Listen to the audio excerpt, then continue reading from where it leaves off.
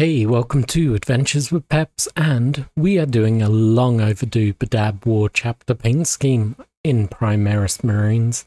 So this will loyalist, which is a loyalist space marine chapter created during the 25th founding of the 40th millennium from the Ultramarine gene seed. The Fire Angels are best remembered in Imperial records for the role they played in the recent Badab War the Fire Angels is a recently founded chapter, though not the first to bear the title. The Fire Angels hail from the world of Loran Alpha, and while they share the genetic heritage of the Ultramarines, the Fire Angels have no special links to the wider body of the Ultramarines. And away we go. Here we go. Oh, good start. Losing my paintbrush. We're kicking things off with a black primed Primaris Space Marine. Now, initially, I had planned to use lead belcher, but I was looking through my paints and I spotted I had the Stormhost Silver, which I felt would make for a much better base coat for the model. So with that in mind, I grabbed the trusty base paintbrush and I completely covered it. Like painfully covered it. This is my go-to brush for dry brushing for basin terrain. This is a worn out brush and I'm just slapping it from all directions. No rhyme or reason.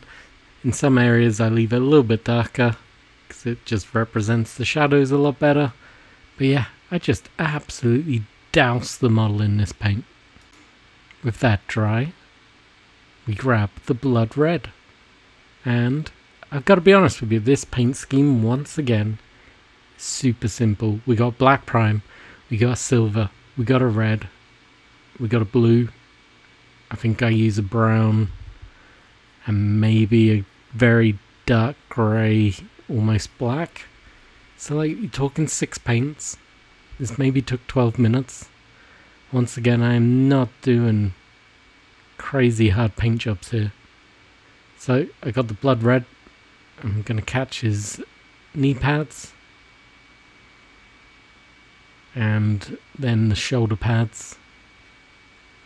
That's it. It is a super easy paint scheme. I can't tell you enough. Yes, this isn't going to win you awards. I'm not here to do that for you. I'm here to inspire you just to get paint on some models and make them look cool. But yeah, this is a great way to get all your base troops done. Maybe you actually get your entire army done like this so it's ready, it's playable, it's painted. Then you can go back and clean up at a later date.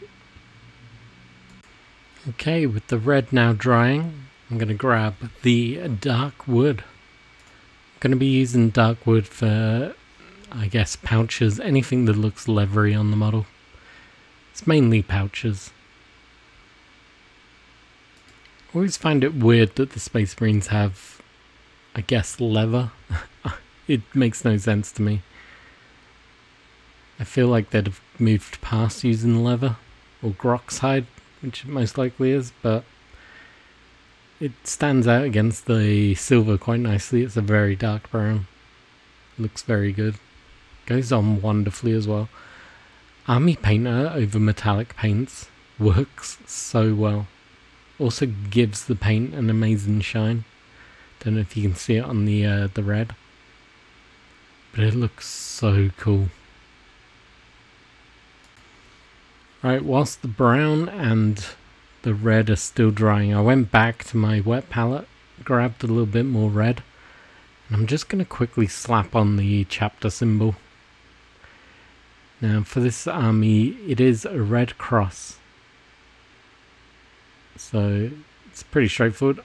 As you can see, I am shaking like mad.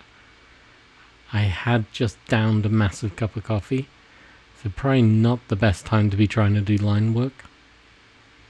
But yeah, I'm, not being gentle, I'm not being super neat. I just wanted to put a symbol on it. It's rare that I actually do it, but the symbol seems simple enough that I could attempt a version of it.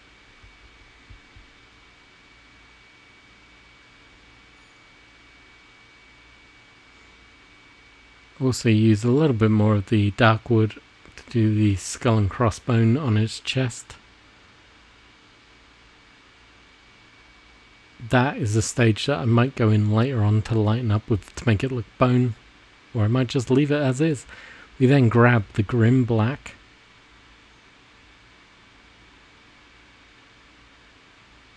And I use it anywhere that I think should be black. Quite simple. So I go into all the soft armor parts at the joints, the stomach area, around the back, knee joints. Also hit up his knife and part of his gun just to give it this little differentiation. Now over the silver it really goes into the recesses, darkens down the silver, acts like a really strong shade. Doesn't make it look black in any way, shape or form, it just gives it a very dark shade. And with these final details, getting caught with the black, we're pretty much done. I've only got the base left to do, which was pretty much grey over the black, heavy dry brush, and I clean up the brush black. This was stupidly easy to paint. If you're looking for a very simple paint scheme, this could be for you. Like I said, we had black primer, silver, red, blue eye lens, brown for the pouches, and black for the weaponry. And that's it. Super easy. I'll now take some photos so you can have a look at the final piece. And I will catch you next week. Cheers for watching. Like, comment, subscribe, and watch any video at the end that's been suggested to you. Bye bye.